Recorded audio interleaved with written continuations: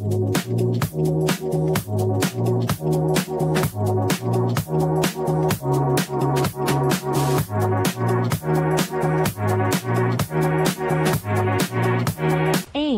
To promote environmental sustainability by introducing an eco-friendly idol made from biodegradable materials like vegetable peels, alum, neem leaves, and waste flowers.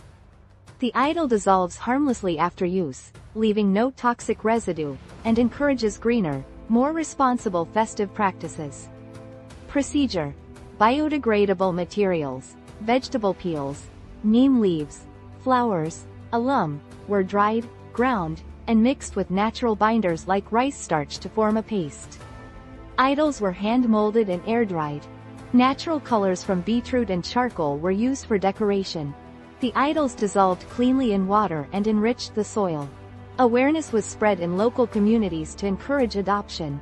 Problem statement. Traditional pop idols pollute water and harm aquatic life. This project offers a sustainable alternative using natural, compostable, and antibacterial materials like neem, alum, and vegetable waste. SDG 1. Clean water and sanitation. Goal 6. 2. Sustainable cities and communities. Goal 11. 3. Affordable and clean energy. Goal 7. Product created.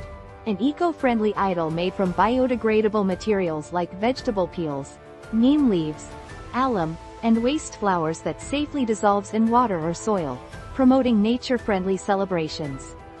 People Review I absolutely love these eco-friendly idols. Beautifully created with natural materials. It dissolves easily into the environment without harming it. It's the perfect mixture of sustainability and devotion. Price of product. The idol was created at a cost of just 35 rupees, using easily available waste and natural materials, avoiding any synthetic element.